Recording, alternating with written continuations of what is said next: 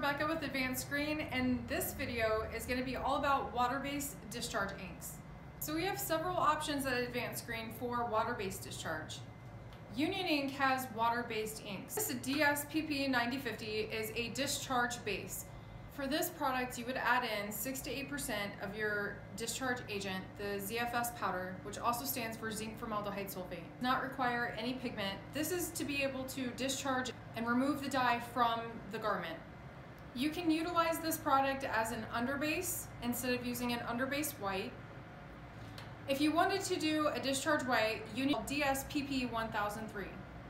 We also carry two different lines of water-based inks. We have Matsui and we have CCI T-Charge.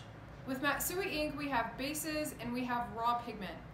Raw pigment can be added into a Matsui base like this dischargeable 75 white at 15%. So you can add up to 15% pigment to base ratio. The other water-based discharge that we have is CCI's T-Charge line. CCI has these pre-mixed primary colors and they are ready for use out of the container you can utilize them in a Pantone matching system or you can discharge them on dark color garments. We here at Advanced Screen sell many different types of emulsion. For discharge, we want to try to have more of a sturdier emulsion that's going to be able to withhold against the discharge agent while printing. If you're going to be doing anything under 50 prints, you may be able to get away with the emulsion that you currently use without any kind of hardener. If you use a pure photopolymer emulsion, which is just a single part, you don't add a diazo sensitizer into it, we have something called Chromaset Hardener. Chromaset Hardener is manufactured by Chromaline. This product is used on a screen after the art image area is removed. The emulsion that I'm using on my screen today is going to be Chromaline's Chromatec WR for water resistant. There is a hardener or diazo sensitizer that you can get for this emulsion I'm only going to be doing a test run, so I'm not going to add any hardener into it. If you're going to be doing long runs, it is highly suggested to be able to put that diazo sensitizer into your emulsion just to have that safety net so when you're on press, your screen doesn't break down. You do not want an early stencil breakdown. Do keep in mind when you add any type of sensitizer into your emulsion, it does shorten the shelf life. You have about three to six weeks to be able to utilize that emulsion.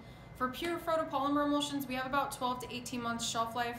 If you're utilizing something like Murakami's Photocure Blue, which is a single part pure photopolymer emulsion, you can get a diazo sensitizer for this emulsion.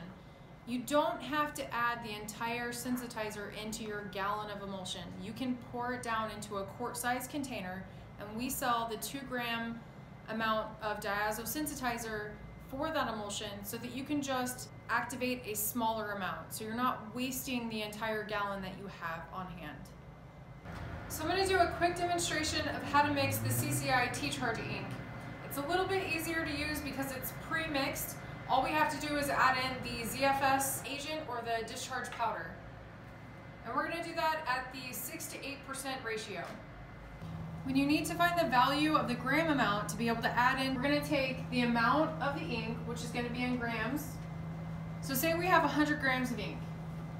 We're going to take 100 and we're going to multiply that by 0.06 and that'll give us 6 grams. Okay, gram scale, we're going to turn this on. Make sure that your unit of measurement is at a gram amount and we're gonna tare out the weight of the scale so that it doesn't affect the weight of the ink. We're gonna bring that amount back to zero.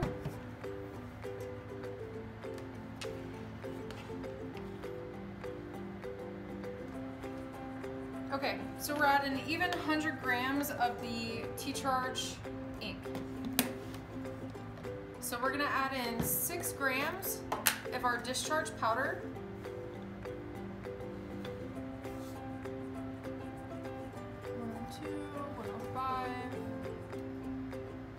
106.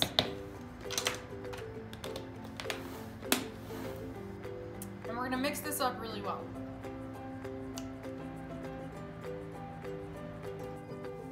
So now that we have our mix complete, we're gonna go ahead and we're gonna put it on press and we're gonna put it onto a black 100% cotton garment. The reason why we use 100% cotton garments is because the discharge print does come out a lot more vibrant It works a lot better.